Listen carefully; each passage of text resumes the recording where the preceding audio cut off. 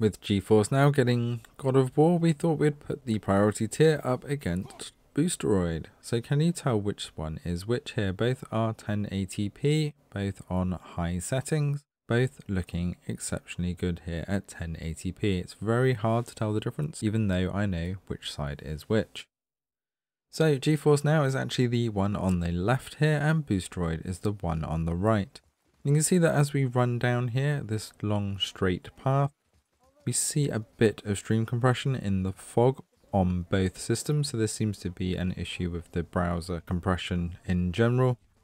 Both have a bit of stutter, they do not hold a steady 60 frames per second. In fact, both of these get some pretty hefty frame dips, which we didn't see on the GeForce Now 3080 tier, so the priority tier on GeForce Now suffering some of those issues.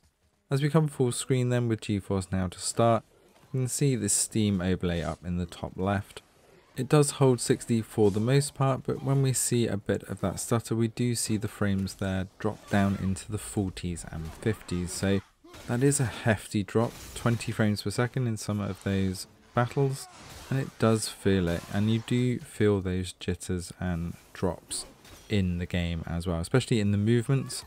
And in some of those animations, it just doesn't feel quite right. So it's a bit of a shame that the priority tier has such big dips even just on the high settings and you would expect it to be a little bit better here. So I guess if you wanted to hold those higher frames then you could go down to the original settings. As we switch over to Boosteroid once again we're seeing that 60 frames per second and then we get a few of the dips down.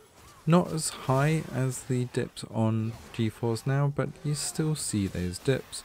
Quality wise it's very close between the two. I think the browser Streaming compression definitely takes a hit for both of them here.